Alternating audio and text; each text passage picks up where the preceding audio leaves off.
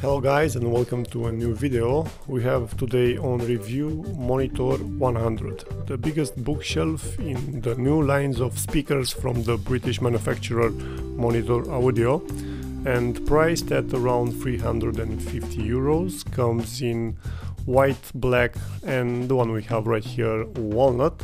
This new bookshelf speaker has that retro design and a pretty solid and well damped box as you can probably hear. That promised to be a great contender for a very crowded market in this price range. The grill is very acoustically transparent as you can see and it covers all the front baffle except for 2 centimeters in the bottom where the monitor audio logo is written. The front baffle it's painted in light gray that offers a very retro design and a nice contrast with the orange driver. On top we have an 1 inch coated aluminium magnesium tweeter derived from the bronze series that it's always protected by a metallic grill and a 6.5 metal matrix polymer with inverse rubber surround and a very nice bright orange finish.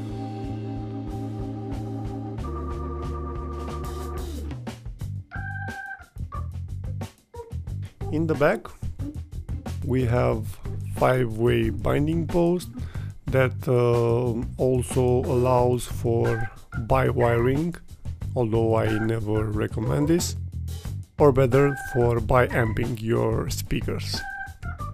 One thing uh, needs to be, to be mentioned here, if you remove the metal brackets and try to bi-wire or bi-amping, the normal impedance that is 8 ohms will uh, drop to 4 ohms.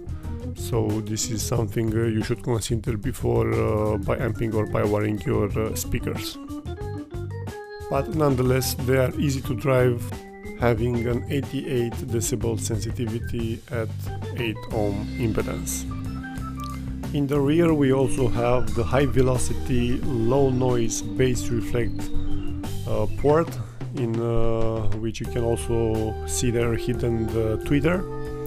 Uh, strange enough I didn't saw any stuffing, any acoustically absorbent material but maybe I don't know it's glued uh, on the walls or something like that. Uh, the finish of the veneer it's uh, very nice for the price.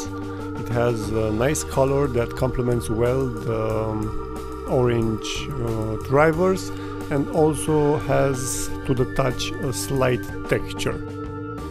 Overall the design it's uh, retro yet modern and the colors uh, chosen by the producer will uh, complement very nice in my opinion a lot of uh, a lot of uh, rooms. And now let's go on to the sound impression. In my uh, medium sized room tested on my uh, BC acoustic amplifier it's a 120 watts per channel amplifier uh, I didn't have any problem driving the speakers to their full potential. The sound it's very natural, very solid, has a very good bass response, a transparent mid-range, slightly pushed forward mid-range actually. Uh, that means a good vocal with good clarity and uh, a natural voice on all the tracks that I listen to. The tweeter it's present but it's not aggressive, it's actually more discreet than in the Bronze series. Uh, that means the overall sound uh, has that touch of warmness that allows you to listen uh, longer without getting tired or nothing like that. Uh, and that's always a good thing in my opinion.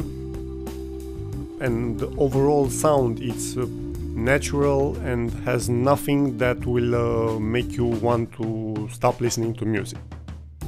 On more demanding tracks with uh, lots of instrument, the soundstage wasn't that precise and uh, was a little bit crowded, but nothing to worry me about considering the price. And um, on some uh, very heavy bass tracks the bass was a little bit too much uh, at around 100 hertz and that made me switch the direct mode from my amplifier and uh, reduce the bass uh, just a little bit to get that perfect uh, sound that I wanted. Moving them in my bigger room, everything got so much better. The soundstage improved dramatically, the imaging was better and the bass was uh, tighter and more controlled I actually felt the need to compensate, so I added my sub. Well, luckily, I have two of them, and overall was a much better sound. In the end, I would just like to say that Monitor 100 was a surprise to me. They came out with a fresh yet retro design, a good sound, and most important, a fair price. So I have no problem recommending them for music and for movies, also in small to medium rooms. Thank you guys for watching and until next time, all the best. Bye.